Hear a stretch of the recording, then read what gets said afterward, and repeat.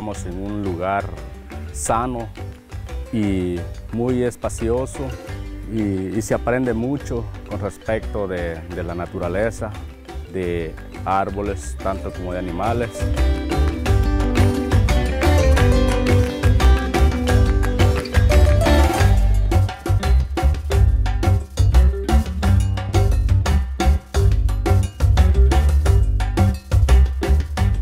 Tener en sí una, una reserva es muy buena porque ayuda para que las nuevas generaciones conozcan de los, de los animalitos y también ayuda a lo que es eh, el, el medio ambiente.